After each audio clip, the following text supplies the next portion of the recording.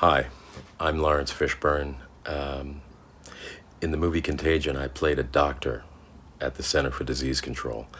The virus in that movie was created by a screenwriter. COVID 19 is very real. Um, most of us aren't old enough to remember the diseases smallpox and polio and the way that those diseases had affected billions of lives. But they changed the way that people lived, and it looks like COVID 19 is forcing us to change the way that we live, at least for a while. Now, there's a scene in the movie Contagion about the tradition of handshaking. Um, you extended your hand and showed the person you were meeting that you didn't have a weapon, that you weren't carrying one. Well, now the way we're living is like we're all carrying a weapon and we don't even know it.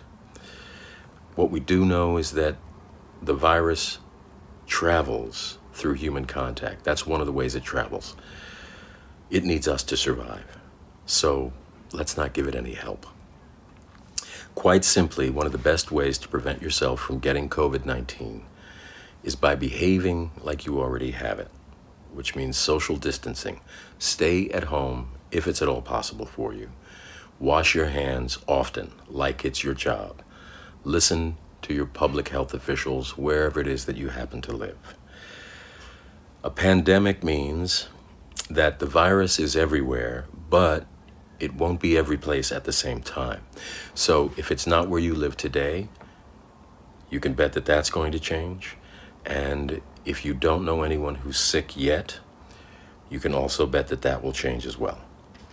Our public health experts are telling us that the virus could affect as many as half of us in the coming months moving forward. And that would mean that you or I or someone very close to us will contract the disease, will contract the virus we need to do everything possible, everything that we can to prevent that from happening. If we can slow this thing down, it will give our doctors and our nurses in our hospitals a fighting chance to help us all get through this thing together. Everything that you can do to stay healthy, everything that I can do to stay healthy, everything that we can do to stay healthy will keep our people on the front lines from getting sick, and that is so important. And I know it's it's frightening to wake up every day and to see on the news that more people have died but the overwhelming majority of us are going to live. Every day, the number of those who are being cured will increase. And our scientists can learn from how their immune systems defeated the virus and discover treatments until we have a vaccine.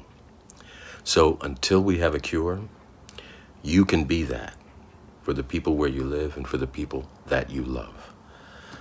We can beat this thing together just by staying apart. Thanks a lot. Bless you. Stay healthy. Stay safe.